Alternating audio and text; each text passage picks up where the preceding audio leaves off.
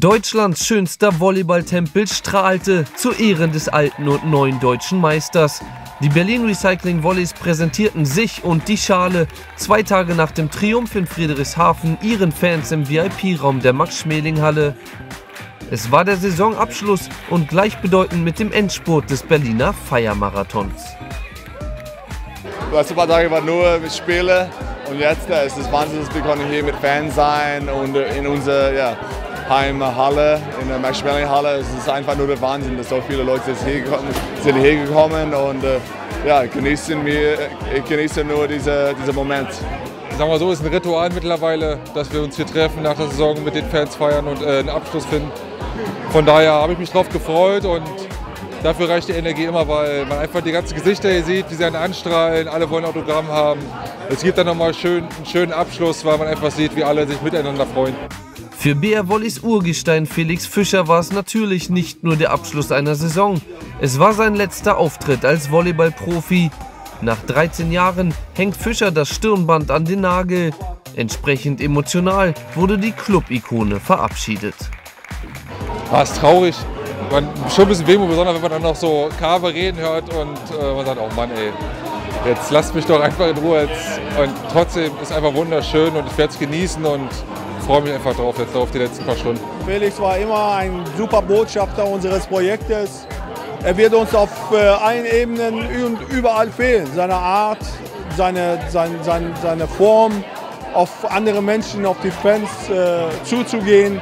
Das wird uns alles fehlen. So jemand kann man auch nicht ersetzen. Aber was soll's, wir müssen damit leben, weil das ist genau der richtige Schritt für ihn zum richtigen Zeitpunkt. Das größte Abschiedsgeschenk hatte sich der 34-Jährige nur 48 Stunden zuvor am Bodensee selbst gemacht. Nach fünf Niederlagen in Serie in dieser Saison gegen Friedrichshafen entschieden die BR Wollis ausgerechnet die beiden entscheidenden letzten Duelle für sich. Besseres äh, Buch hätte man auch nicht schreiben können, das bessere Ende. Von daher bin einfach nur glücklich, bin einfach stolz auf meine Mannschaft, dass wir so zurückgekommen sind dass wir halt auch mal diese Qualitäten aus der Champions League halt auch mal gegen Friedrichshafen gezeigt haben. Und bin einfach ja, stolz, ein Teil dieser Mannschaft gewesen zu sein und äh, mit, mit dem Titel mich verabschieden kann.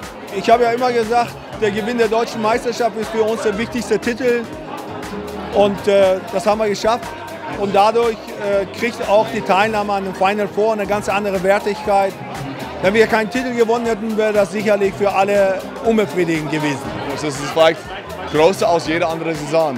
Und dann auch ja, nach dem ersten Spiel. Alle Friedrichshafen-Fans, sie waren alle so cocky. Sie haben die fünf Dinge gesagt, sie haben fünfmal hintereinander gewonnen. Und es war ja für uns unglaublich toll, dass wir können da gewinnen.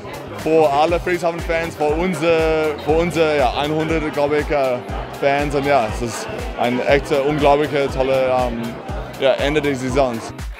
Schon traditionell wurde aber nicht nur die gerade abgelaufene Saison gefeiert.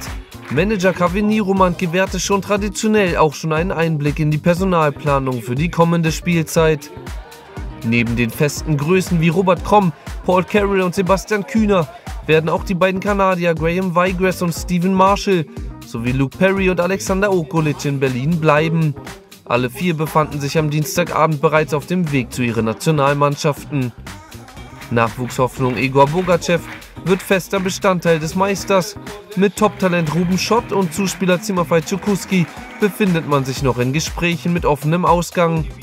Diagonalangreifer Wouter Termat wird die BR Wollis aller Voraussicht nach verlassen. Das Gerüst der Mannschaft bleibt damit in großen Teilen bestehen. Für Niromand ein ganz entscheidender Fakt. Wir setzen auf die Karte Kontinuität. Deswegen haben wir uns auch bemüht, die Mehrheit der Spieler aus dieser jetzigen Saison, die auch schon teilweise schon nach, seit Jahren schon bei uns sind, auch weiterhin für uns zu verpflichten. Die Kontinuität und die, das Zusammenwachsen dieser äh, Korsettstangen, wie ich sie immer bezeichne, wird unser größter Vorteil sein. Neu besetzt wird zur nächsten Saison in jedem Fall die Trainerposition. Roberto Segnotti verlässt den Club nach vier Titeln in zwei Jahren das Ende einer äußerst erfolgreichen und dennoch nicht immer unkomplizierten Zusammenarbeit. Er konnte ja, kein Deutsch sprechen, er konnte fast kein Englisch sprechen Und für uns ist es wichtig, war, dass wir sind zusammengeblieben als Mannschaft, als Spieler.